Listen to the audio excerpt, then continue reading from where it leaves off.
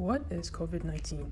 COVID 19 is a type of disease which is a result of the novel coronavirus that has not been identified in humans before.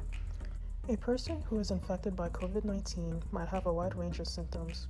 These symptoms include coughing, sore throat, fatigue, headaches, fever, chills, shortness of breath, difficulty breathing, muscle aches, body aches, new loss of taste or smell, congestion, runny nose, nausea, vomiting, and diarrhea.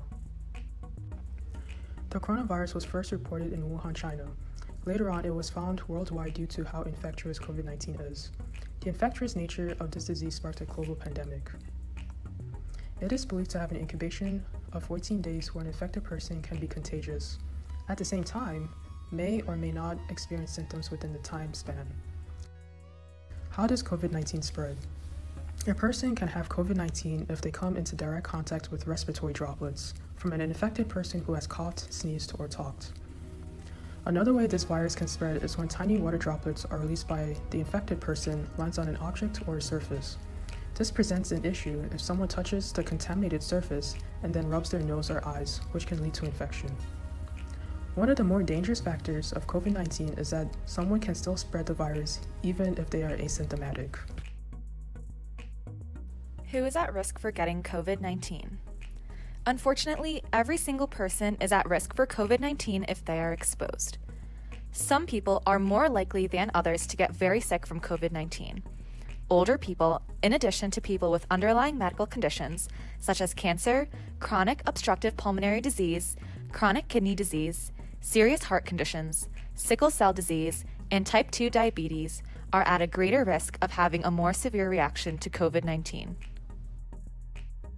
How can I protect myself and others from COVID 19?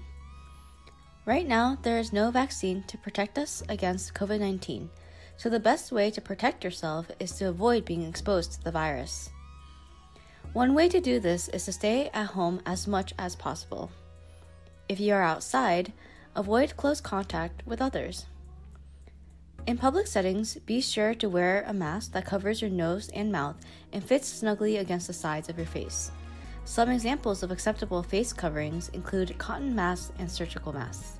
Due to shortages, N95 respirators should be reserved for healthcare workers and other first responders. While other face coverings are available, some of them are not as effective. Thin neck gaiters are not recommended to be worn in a single layer.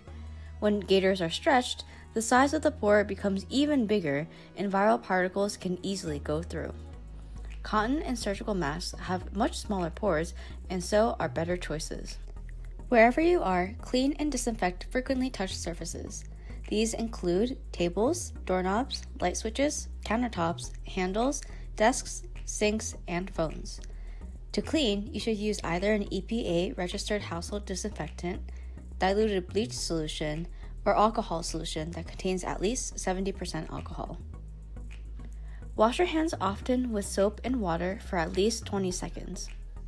Or use an alcohol based hand sanitizer that contains at least 60% alcohol. What's the best way to practice social distancing? Try to avoid any crowded public places by doing your daily activities online as much as possible, such as grocery shopping, going to the doctor's, and banking. You may still go to places in person as long as you are following proper social distancing protocol. If you go to a public place, you should stay at least six feet apart, if not more, from other people. When touching objects or surfaces, disinfect it before and after use. If you're missing eating out at restaurants, try deliveries or takeout.